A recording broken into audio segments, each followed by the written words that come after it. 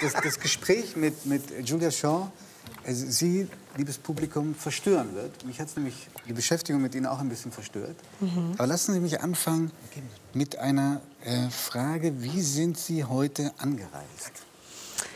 Ich bin gut angereist und ich habe auch ein Geschenk dabei für Sie. Und zwar, ich komme aus London.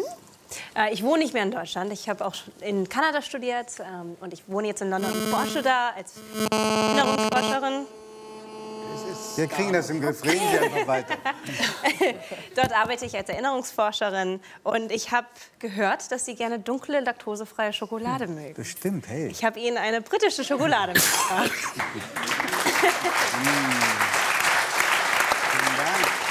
und dazu muss ich sagen, dass ich Ihnen auch helfen kann, wenn Sie nicht mehr dunkle Schokolade essen möchten. Denn mit falscher Erinnerungstherapie kann man das auch wieder rausmachen, dass man die nicht mehr mag. Dass man, also dass man sie, dass man Laktose dass mag? man Schokolade Ach so, ach so, nicht mehr mag.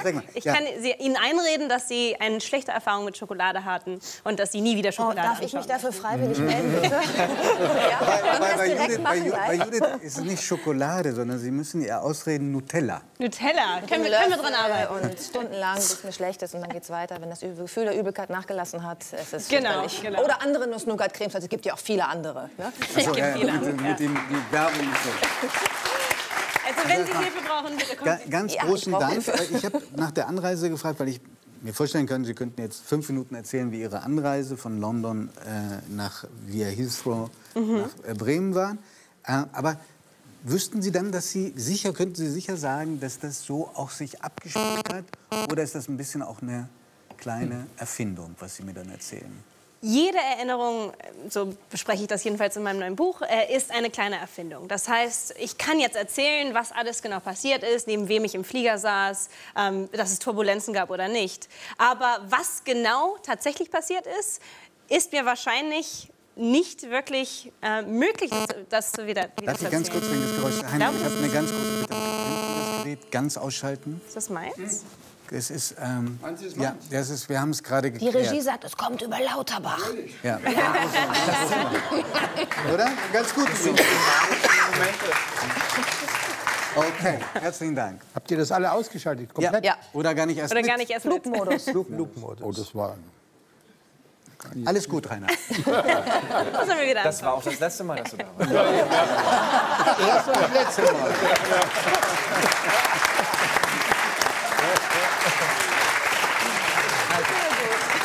Jede Erinnerung ist eine kleine Fälschung. Woher genau. haben Sie das? Ähm, weil ich als Wissenschaftsforscherin klar und deutlich immer wieder sehe, dass auch wenn Sie jetzt Ihre Augen schließen würden und mir jetzt beschreiben würden, was gerade vor Ihnen war, würden Sie Sachen rauslassen, würden Sie Fehler machen, würden Sie Sachen reinstecken, die nie passiert sind. Die nie passiert sind. Die nie passiert sind. Falsche Erinnerungen nennt man die auch oder Pseudo-Erinnerungen. Und zwar pa passiert das, weil wir auch wir, wir füllen die, die, wir ergänzen Geschichten, wir füllen sie ein mit Details, wo wir, wir annehmen, dass sie, dass sie passen müssen.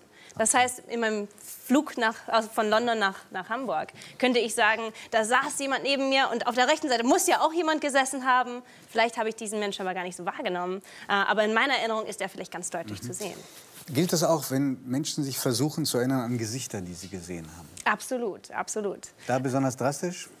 Äh, besonders drastisch nicht. Also ich sage gerne, manche Menschen sagen ja, sie, sie sind nicht gut mit Namen. Manche sagen, sie sind nicht gut mit Gesichtern. Ich mit beiden muss ich sagen. Genau, ich auch. Mhm. ich bin ganz schlecht mit beiden. Ähm, und das ist auch ziemlich normal. Also ich glaube auch eins, was mir ganz wichtig ist, ist, dass den Menschen bewusst wird, das passiert nicht nur ihnen. Trotzdem hat ja die Wiedererkennbarkeit von Gesichtern mhm. manchmal eine ganz äh, dramatische Bedeutung. Nämlich Richtig bei Justizfällen, Richtig, über die wir heute noch verschiedentlich reden werden. Genau. Und deshalb wollte ich einen kleinen Test vorschlagen. Fürs Publikum zu Hause, aber auch für uns hier. Sehr ja? gerne. Das schauen wir uns jetzt an.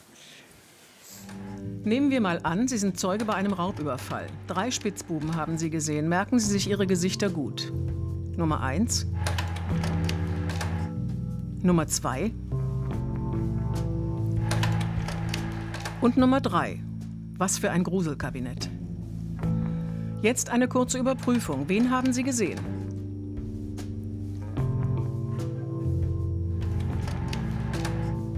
Nicht so schwierig, oder? Jetzt die Gegenüberstellung. Rechts oder links? Klar, links ist richtig. Rechts oder links? Diesmal ist rechts richtig. Kein Grund zum Jubeln. Das kriegt fast jeder noch hin. Aber jetzt rechts oder links? Das machen jetzt nur noch 50 Prozent aller Befragten richtig. So, jetzt bin ich gespannt. Das lösen wir hier auf. Äh, Heiner Lauterbach hat schon gesagt links. Was ist Ihr Tipp? Rechts. Ich würde auch sagen rechts. Also das Ehepaar zu Hause sagt rechts. Äh, Florian sagt rechts. Was? Äh, Links. Links. Werner Schneider? Ich äh, denke nicht drüber nach. Es ist mir unendlich langweilig, dieses Spiel. Ach, jetzt seien Sie nicht so knatzig. Was würden Sie denn sagen? Was würden Sie sagen? Links.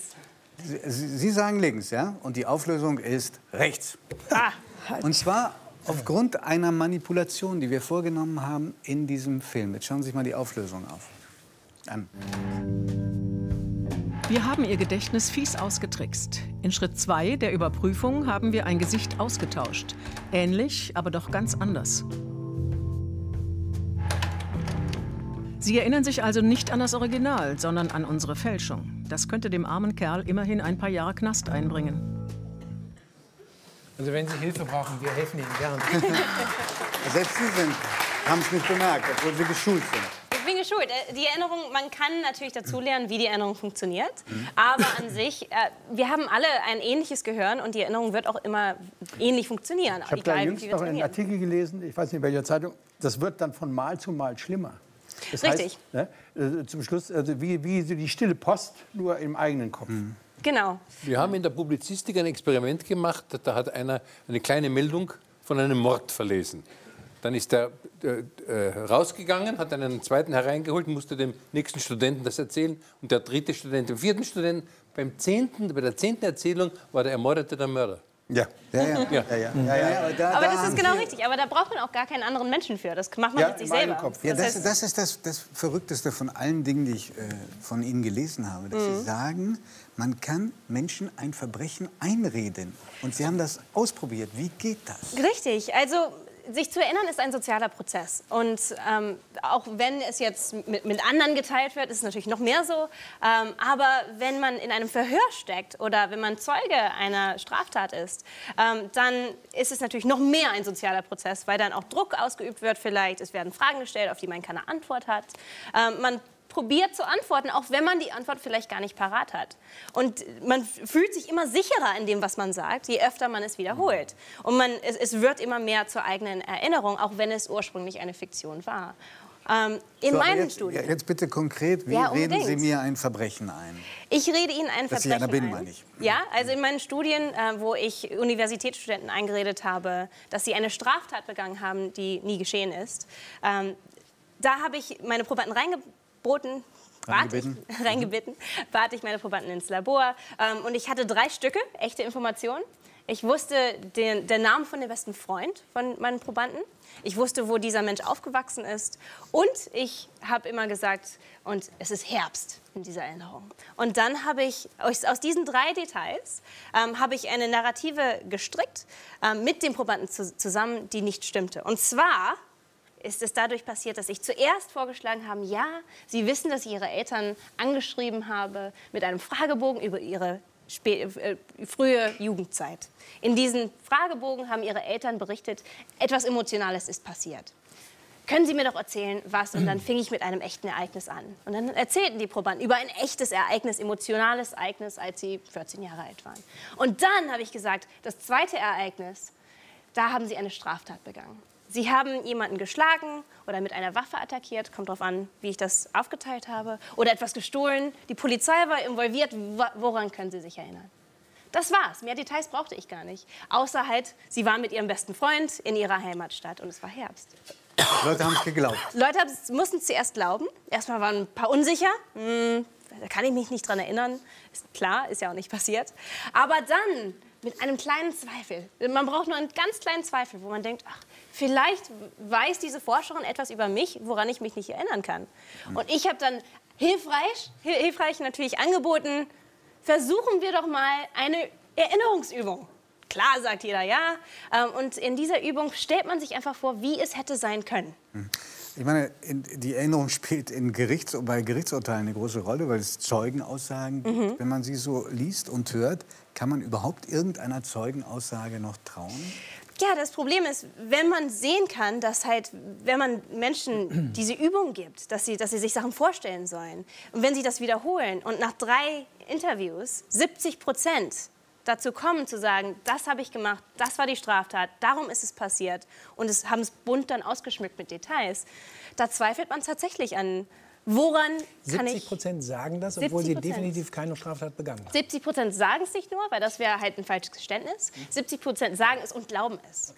Ähm, und das ist, ist Wahnsinn. weil man meint natürlich, ich würde nie zu einer Straftat gestehen, die ich nicht begangen habe. Also bei mir hat das auch funktioniert jetzt. Ja? Warum? Weil sich nicht mehr... das lassen wir mal außen. Ach so, also es gab wilde Zeiten. Aber das ist, ist richtig. Also man zweifelt tatsächlich an, an den Erinnerungen, weil man meint, es ist so emotional, es ist so ausführlich, ich kann mich doch so klar daran erinnern, es muss stimmen. Jetzt gibt es ja, also Sie, Sie, sprechen das direkt an oder schreiben das auch auf und das berührt dann das Themengebiet vom Ehepaar Zorst. Ähm, Therapiesitzungen und äh, dann kommen Erinnerungen hoch und Gefühle, dass äh, Patienten sagen, ich bin zum Beispiel missbraucht worden. Also das Schlimmste, was man einem Kind antun kann. Sie sagen, Sie vertreten oder Sie, Sie äh, sind gerade mit einem Fall konfrontiert, wo Sie das, den ganz klaren Eindruck haben, es ist nichts als Autosuggestion. Ja, es gibt Autosuggestion, es gibt aber noch schlimmer, könnte man sagen, Suggestion von außen, so wie ich in meinem Labor meinen Probanden vorschlage, können Sie sich denn nicht erinnern an diese Straftat? Ähm, kann es auch dazu kommen, dass in problematisch, es gibt natürlich viele tolle Therapie, die auch wahnsinnig hilft, aber ab und zu gibt es Fälle, wo einem vorgeschlagen wird, in einer thera therapeutischen Situation, Sie sind jetzt krank, vielleicht ist es, weil Sie in Ihrer Kindheit ein Traumata hatten. Äh, und Ganz viele Menschen. Ganz fair, Sie geben dem recht, also dass Total. dem Patienten was eingeredet Äh, wird. Ganz viele Menschen, die haben durch, den, durch einen längeren thera- therapeutischen Prozess ein Selbstgefühl von viel mehr Störung. Ähm, also wie soll ich sagen, sie, die, die, die werden in diese Störung, die vertiefen etwas bis hin zu einer Störung. Viele Leute kommen auch zu uns und sagen, also wir verstehen uns ja auch überhaupt nicht als Therapeuten, ganz bewusst nicht, weil wir nicht glauben, dass Menschen krank sind, die was in der Ehe zu klären haben. Aber zu uns kommen Menschen, mit einer Diagnose, wo ich das Gefühl habe, hier sitzt nicht Peter Müller, sondern hier sitzt eine Diagnose. Und dieser Mensch hat sich in dieser Diagnose vollkommen verfestigt, weil ihm Menschen, die er akzeptiert, Therapeuten, Ärzte, Frauen kommen ganz oft zu uns, die sagen, naja, der, der Arzt hat auch gesagt, in meinem Alter hat man keine Freude mehr am Sex. Und dann ich so, mm. und ja, der, der, das geht halt nicht mehr so in unserem Alter. Das hören wir also viel über Sexualität, wo ich immer sage, lassen Sie sich keinen Mist erzählen. Weil die Menschen glauben dann, ja, ich habe ein Problem. Genau, und das Problem kann leider dann auch Unschuldige ins Gefängnis stecken. Das heißt, wenn man wirklich das Was, was verinnerlicht, allerdings nicht heißt, dass nicht Leute sich äh, traumatische Erlebnisse wirklich hatten Um und Klar, sie endlich klar. durch eine Therapie rausholen. Jetzt aber, äh, um zu ähm, ihrer, Ihrem Geschenk, Ihrem Freund Mhm. zurückzukommen und um zu vermeiden, dass ich das Gleiche tue wie Judith mit ihrem Priester, nämlich Sie in den Arm zu nehmen, um mich zu bedanken. wie wie, wie äh, operieren Sie mich, mir jetzt die schlechte Erinnerung an Schokolade aus? Also genau wie bei meinen Straftaten, könnte ich Ihnen jetzt äh, die Übung geben. Also das ist mir auch wieder ganz wichtig, dass Menschen wirklich verstehen, wie diese Forschung zu Hause angewendet werden kann. Ähm, und dass, wenn Tante Emma erzählt Weiß nicht, von ob einem, ich zu Hause einer Erinnerung. möchte. Ja, aber man, es macht einen ähm, neugierig, was, was Erinnerungen angeht. Das heißt, wenn Tante Emma erzählt von einer Geschichte und man sagt, das, das stimmt nicht, das kann nicht sein, da war ich nicht, ähm, kann man Verzeihen sagen, Sie, vielleicht. Di Lorenzo hat Sie jetzt gefragt, wie Sie ihm die Schokolade ausreden. Ja, da komme ich ja gleich zu. Ähm, Sind Sie sicher? ich bin mir ganz sicher. Ich glaube schon. Sei denn, ich erinnere mich Der ist eigentlich ein Frage. ganz netter. Das äh, kommt mir etwas böser rüber. Ja? Ich will nur spielen. Ähm, aber dass, dass man halt dann sieht, Tante Emma erzählt vielleicht nicht absichtlich eine Lüge, weil meistens vermutet man ja, dass was nicht stimmt, muss gelogen sein. Und das ist einfach nicht so. Sie kann sich auch einfach falsch dran erinnern. Jetzt kommen Sie zur Schokolade, ja, bitte. zur Schokolade. Wie rede ich Ihnen die Schokolade aus? Ja, dass Sie schlechte Erfahrungen mit einer bestimmten Schokolade gemacht haben. Es ist quasi... Äh, Vollmilchschokolade. Ja. Vollmilchschokolade. Haben Sie ja schon wahrscheinlich schlechte Erfahrungen. Sehr schlechte Erfahrungen. ja. Muss ich Ihnen ja nicht einreden. Nein, will ich Aber auch mit nicht ihrer, beschreiben hier. Mit ihrer Lieblingsschokolade, mit ihrem Lieblingsessen. Ähm, es gibt die sogenannte falsche Erinnerungsdiät. Äh, Elizabeth Loftus ist eine Forscherin, die das, Das war, mehrfach glaube ich, auch die untersucht von dem hat. Test, den wir gerade gesehen haben, glaube ich. Das kann sein. Ja.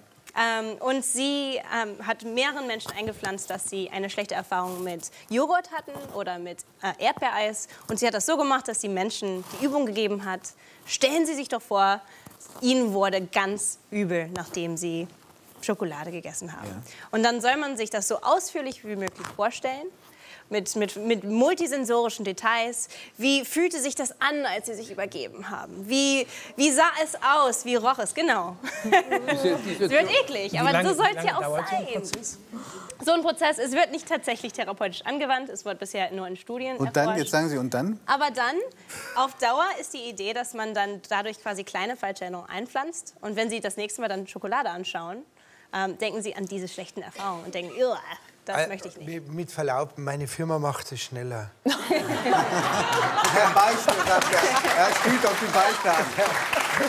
Ich meine, das war die, das war die Vorstufe zur Psychoanalyse. Die Beichte, eine geniale Erfindung, muss man Wir, wirklich sagen. na, wir machen einfach 40 Tage Fastenzeit und sagen, der liebe Gott will das nicht. Ja, stimmt. Okay, auch das, Bei, bei, bei uns zu Hause, bei uns zu Hause gab es äh, so ein Fach im Wohnzimmerschrank, da waren die ganzen Süßigkeiten drin und am Aschermittwoch hat dann die Mama gesagt, und das ist jetzt tabu bis Ostern. Nicht hingehen, du musst jetzt am lieben Gott aufopfern, jetzt haben wir nicht schlecken. Und ich habe das dann immer nie verstanden, weil wenn dann Ostern war, dann ist man hin, da war die Schokolade grau und hat gesagt, du darfst nicht essen, weil da wird er schlecht. Dann denke ich mir, ja, wenn er es halt selber gegessen hätte, gell, da verzichtest drauf und dann wird schlecht, wo ist der Sinn dahinter? Also wo, wie man merkt, man muss fasten können, muss man erklären können. Nur wegsperren und nicht hinlangen und vergammeln lassen, kann es auch nicht sein. Aber wie gesagt, wir, machen, wir sind ein bisschen zügiger am Werk. Wir sagen, wir einfach, der liebe Gott will das nicht und Finger weg, aus, Schluss, fertig. Julia, ich habe ich hab nicht alle, jedes Detail verstanden. Ja, vielen Dank. Ähm, aber ähm, ich versuch's mal. Ja? Mit der, mit der Mit der Therapie, mit der Therapie? Selbsttherapie. Und ähm, ich meine, nach der Vorrede kann ich gar nicht anders enden als mit dem Satz, ich hoffe, dass Sie uns in guter Erinnerung behalten. Vielen Dank für das Gespräch. Ja? Danke.